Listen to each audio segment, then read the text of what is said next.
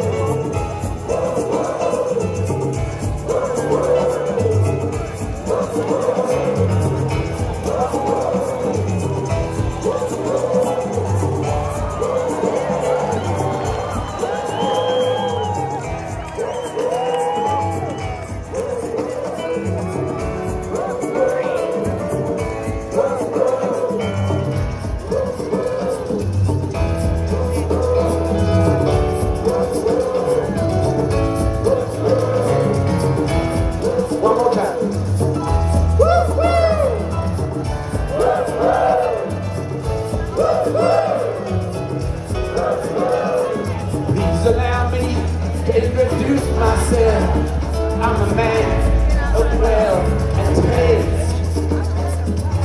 I've been around for many a long year, so many a man's soul and faith. I was around when Jesus Christ had his moments of doubt and pain. Made them show the Pilate. Watch this name.